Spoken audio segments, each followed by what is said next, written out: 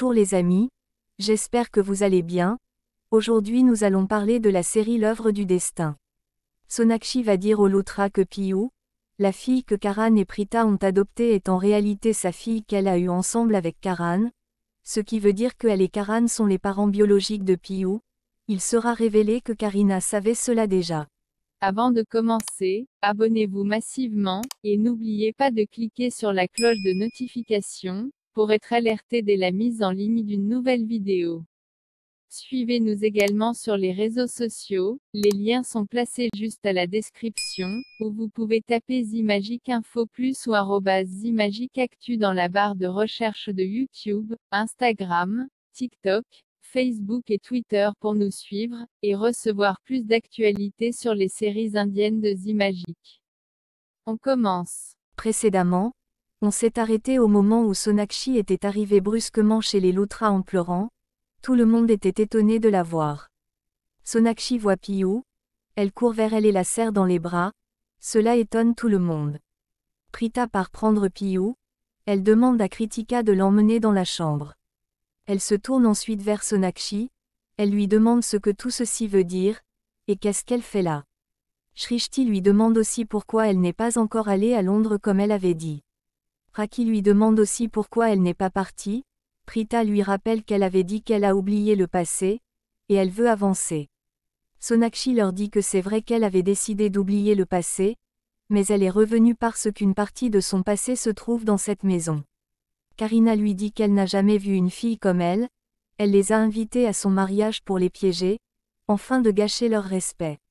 Sonakshi essaie de parler, Karina lui demande de ne pas dire qu'elle n'avait pas cette intention, si elle tenait réellement à leur famille, elle allait leur dire la vérité sur son passé ici avant de les inviter à son mariage, au lieu de les rabaisser devant des gens, à cause d'elle ils vont eu des tensions. Shrishti lui dit qu'elle dit haut et fort que Prita est comme sa sœur, mais elle essaie de ruiner sa famille. Sonakshi part vers Karan, elle lui dit qu'elle voulait partir, mais une partie d'elle est restée ici, elle veut lui révéler cette vérité. Karan lui dit qu'il n'a envie de savoir aucune vérité, il veut juste qu'elle s'en aille d'ici. Prita lui dit qu'elle était venue pour leur dire qu'elle voyage pour Londres, pourquoi elle est encore venue ici.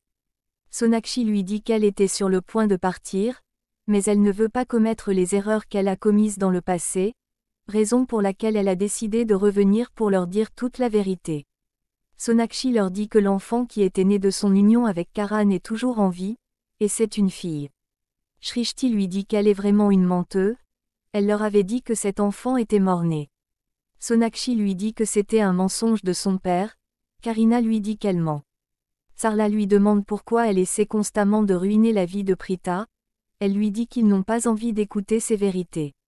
Karina lui demande de partir, elle la prend pour la jeter hors de la maison, grand-mère lui demande d'arrêter, elle veut entendre ce que Sonakshi a à dire, car s'il s'avère que c'est vrai, c'est leur enfant, l'enfant biologique de Karan. Karina essaie une fois de plus de la jeter dehors mais Raki lui demande d'arrêter. Raki dit qu'ils doivent au moins écouter ce qu'elle a à dire, Karina leur demande pourquoi ils ne veulent pas comprendre que cette fille est une menteuse, leur père avait clairement dit que son enfant était mort-né. Sonakshi dit que son enfant n'était pas mort-né, elle est vivante et elle s'appelle Piyu. Tout le monde devient choqué, Piyu vient là et demande à Prita pourquoi elle pleure. Sherline part à côté et appelle Prithvi. Elle lui dit que la fille que Karan et Prita ont adoptée est en réalité la fille biologique de Karan avec Sonakshi. Sonakshi est venu révéler toute la vérité maintenant. Il doit revenir à la maison s'il veut voir le drame en entier. Piou de son côté demande à Prita qui l'a fait pleurer. Prita lui dit qu'elle ne pleure pas. Elle lui demande de retourner dans la chambre. Elle vient jouer avec elle. Sonakshi s'avance là. Elle dit que c'est elle la mère de Piou. Prita se met en colère. Prita lui demande de se taire, elle lui demande ensuite pourquoi elle fait ça. Karina demande à Prita pourquoi elle est en train d'écouter Sonakshi alors qu'elle n'est qu'une menteuse. Sonakshi leur dit que c'est son père qui mentait, c'est juste il y a quelques jours qu'elle a découvert que sa fille est vivante, elle a déjà fait toutes les formalités pour voyager avec elle et passer les restants de ses jours avec sa fille, mais elle a appris que sa fille la venait d'être adoptée, elle a mené ses enquêtes, elle a découvert que c'est son père biologique qui l'a adoptée. Karan lui demande pourquoi elle dit tous ces mensonges. Karina dit que Sonakshi fait tout ça pour entrer dans la vie de Karan et prendre la place de Prita. Sonakshi lui dit qu'elle ne peut pas faire ça, elle n'est pas si odieux. Karina essaie de la jeter encore dehors. Sonakshi leur demande d'appeler les femmes qui travaillent à l'orphelinat où se trouvait Piou si elles ont des doutes à son sujet. Grand-mère appelle Gayatri et lui demande de venir de toute urgence chez eux sur une affaire qui concerne Piou. Gayatri lui dit qu'elle arrive après avoir déposé les enfants à l'école. Grand-mère dit à tout le monde que Gayatri arrive, elle va leur donner toutes les réponses sur Piou. Ensuite grand-mère demande à Karina de venir avec elle, elle veut lui parler, Raki part ensemble avec eux. Sarla demande à Sonakshi pourquoi elle fait tout ça, elle se dit être amie de Karan mais elle essaie de ruiner son couple. Dans une pièce, grand-mère dit à Karina qu'elle veut avoir des réponses avant l'arrivée de Gayatri pour ne pas être inquiète, car c'est elle qui avait donné l'idée d'adopter un enfant. Grand-mère lui demande de dire ce qu'elle cache, Sonakshi a les papiers montrant qu'elle est la mère de Piou. Karina dit que les papiers de nos jours peuvent être faits facilement avec de l'argent, elle ne sait pas qui est la vraie mère de Piou, elle a juste choisi Piou à l'orphelinat. Shrishti vient là et leur dit que les gens de l'orphelinat sont déjà arrivés. Prita dit à Shrishti qu'elle est inquiète car elle n'est pas la mère biologique de Piou. Shrishti lui demande de ne pas avoir peur, car Sonakshi ment dès le début. Ils descendent en bas, une femme nommée Nitu leur dit que Gayatri est très occupée, raison pour laquelle elle l'a envoyé pour parler à sa place. Grand-mère lui demande qui est la mère biologique de Piou, Nitu dit qu'elle ne retienne pas les noms de parents des enfants par cœur, mais en ce qui concerne Piou, ils ne savent pas qui est sa vraie mère, car ils l'ont trouvée à l'extérieur de l'orphelinat. Sonakshi lui dit que c'est faux, elle est la mère de Piou, c'est son père qui était venu la laisser là-bas. Nitu vérifie sur leurs documents, elle dit que Sonakshi ment, ils ne savent pas la vraie mère de Piou. Sonakshi demande à Nitu pourquoi elle ment comme ça alors qu'elle est elle-même une mère comme elle.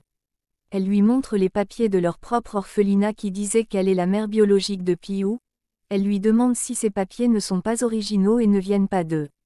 Sonakshi lui dit que son père est lui-même le témoin numéro un, c'est lui qui avait emmené cet enfant à l'orphelinat pour qu'elle ne puisse pas rester une mère célibataire, enfin de garder la réputation de la famille, ensuite il lui a menti qu'elle avait fait morner, mais il est maintenant à ses côtés.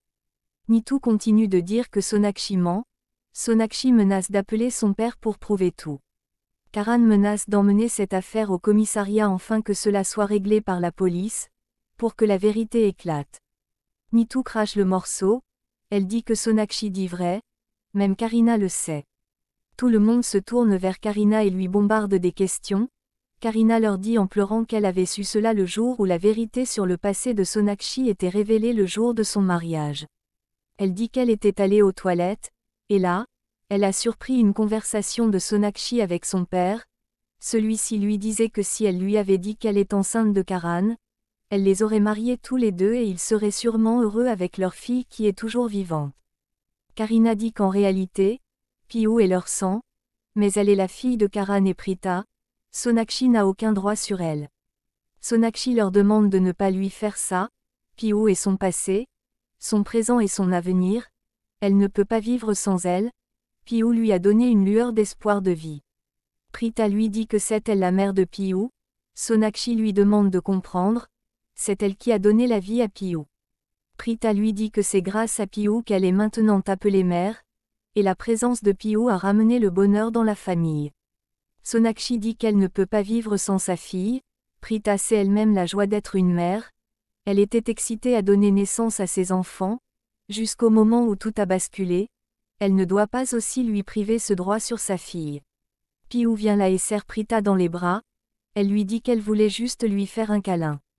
Sonakshi dit que comme Piou aime Prita énormément et la considère comme sa mère, elle peut juste lui faire un câlin et partir sans elle, la famille Loutra refuse de lui permettre cela et on la jette hors de la maison.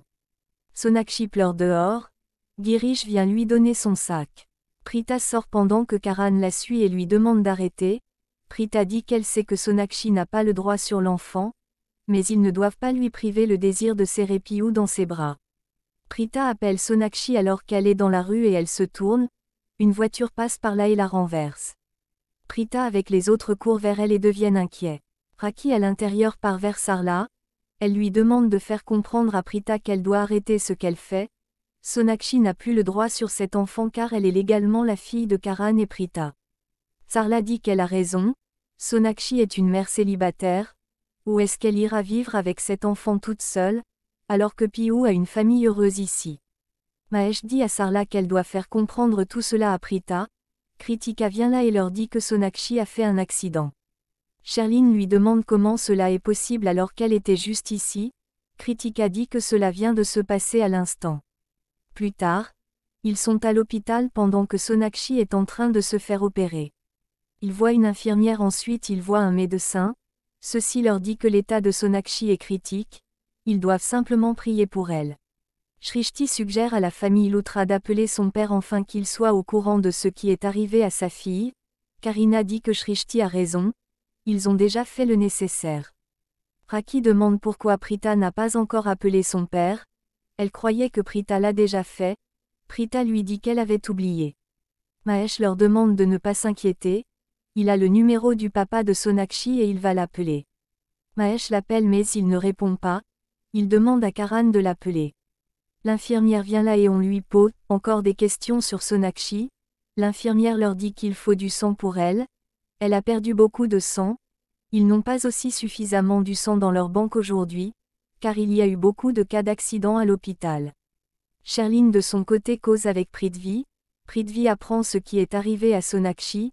Il dit que si Sonakshi meurt, son papa va poursuivre la famille Loutra et ils seront tous ruinés y compris Richab qui est à l'extérieur du pays, mais si elle reste vivante, elle va continuer avec ses coups bas, elle semble être une fille gentille mais elle n'est pas vraiment ce qu'elle essaie de montrer, elle est très maligne. Karan de son côté essaie de faire son possible pour trouver du sang pour Sonakshi, mais ça ne marche pas. Deux gars arrivent là à l'hôpital, ils se connaissent avec Karan et se dirigent vers lui. Karan commence à discuter avec eux, et il leur parle du problème qu'ils ont un gars nommé Abae décide de donner son sang, Karan lui dit qu'il a un certain groupe sanguin spécifique. L'ami de Abae décide de le faire, et il donne son sang. Après ça, Abae dit à Karan qu'il l'invite à venir un jour chez lui, et il doit demander à ses fans de le soutenir, Karan lui assure qu'il va le faire. Qu'est-ce qui va se passer maintenant? Qu'est-ce que Sonakshi va faire et quel est son plan? Est-ce que cette femme est vraiment gentille ou c'est une louve couverte de la peau d'une brebis? Si vous voulez la suite, dites-le moi dans les commentaires. Abonnez-vous massivement, et n'oubliez pas de cliquer sur la petite cloche de notification, pour que vous soyez alerté, dès la mise en ligne d'une nouvelle vidéo. Suivez-nous également sur les réseaux sociaux, les liens sont placés juste à la description. Ou tapez dans la barre Zimagique Info Plus, ou arrobas Actu sur Facebook, Instagram, et TikTok pour nous suivre et recevoir plus d'actualités. Rendez-vous à la prochaine vidéo. À plus tard. Bye.